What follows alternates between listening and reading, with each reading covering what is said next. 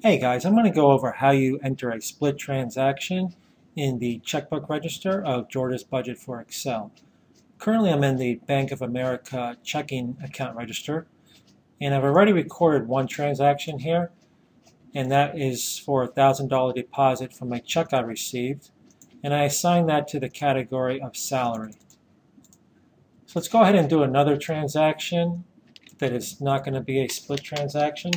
Let's say that we got some gas at Hess gas station. And let's go ahead and assign that to the expense category of auto gas. And let's say that we spent $100 there, and you have to enter that as a negative because it's an outflow. And now let's go ahead and do our split transaction. Let's say that we went to Walmart. And if you're going to do a split transaction for the category,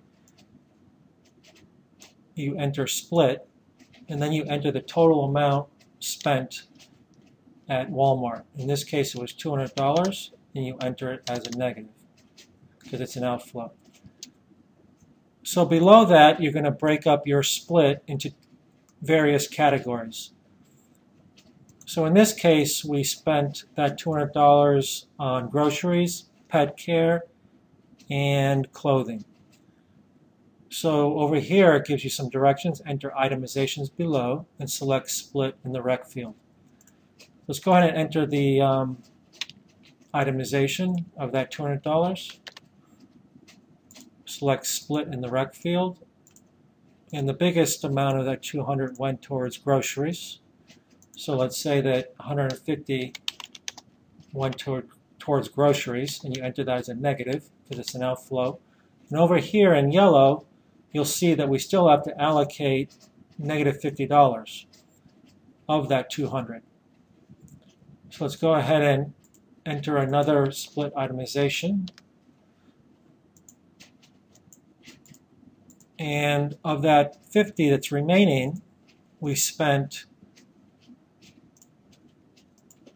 25 entered as a negative on clothing and shoes. So now we have negative $25 left to be allocated to another category.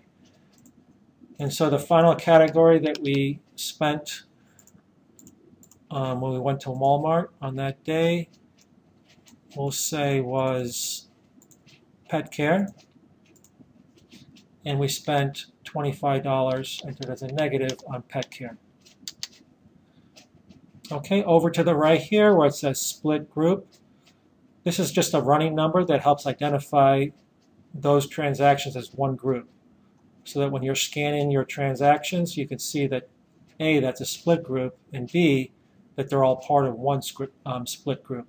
The next split group that you enter below that will be called split group number two. Okay, so basically you went to Walmart, you spent $200, and you broke it between three different categories. And being able to use split transactions is important because if you weren't able to split this and you just said, hey, I'm going to assign everything just to groceries, the full $200, well, then you would really be overestimating your grocery expense because you actually didn't spend $200 on groceries. You actually spent $150 on groceries, 25 on clothing and shoes, and 25 on pet care. So now really what you could do is you could set a budget for all three of these items, a monthly budget, and then you could compare it to your actual expenditures.